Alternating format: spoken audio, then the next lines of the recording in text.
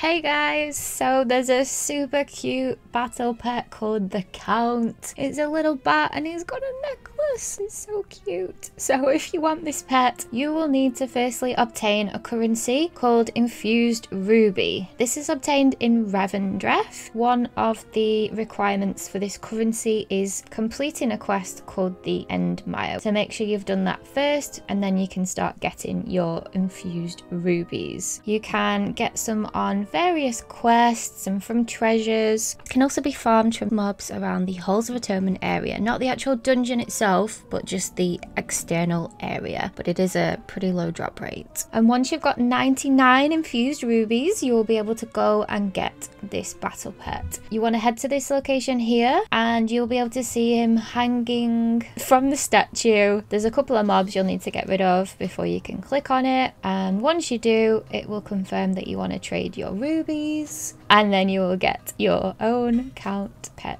He's so cute. Why would you not want this? It's adorable. Good luck, have fun, enjoy. Thanks for watching this video. I hope it was helpful in some way. If you have any questions or feedback, please leave a comment and be sure to subscribe for more videos. All my links are in the description below. Bye!